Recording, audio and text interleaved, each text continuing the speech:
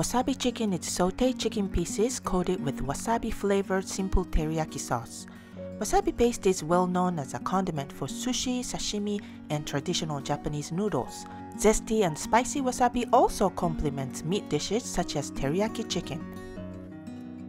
Cut the chicken thighs into 2 inch pieces and remove the moisture using the paper towel. Season with salt, garlic powder, and black pepper. And coat the surface of the chicken with all-purpose flour.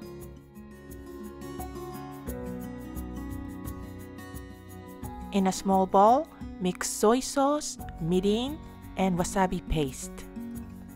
And set aside.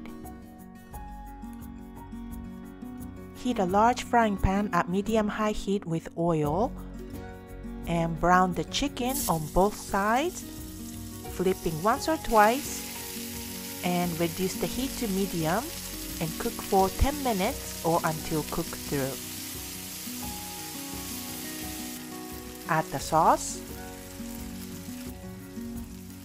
and remove from the heat and coat the chicken with the sauce. Serve on a plate with a side of vegetables and add more wasabi on top if you like. If you think teriyaki sauce is too sweet or prefer a spicy food, you will love the wasabi chicken. This is a simple and delicious dish perfect for a weekday dinner or pack into bento lunch. Hope you try it soon. うん、美味しい。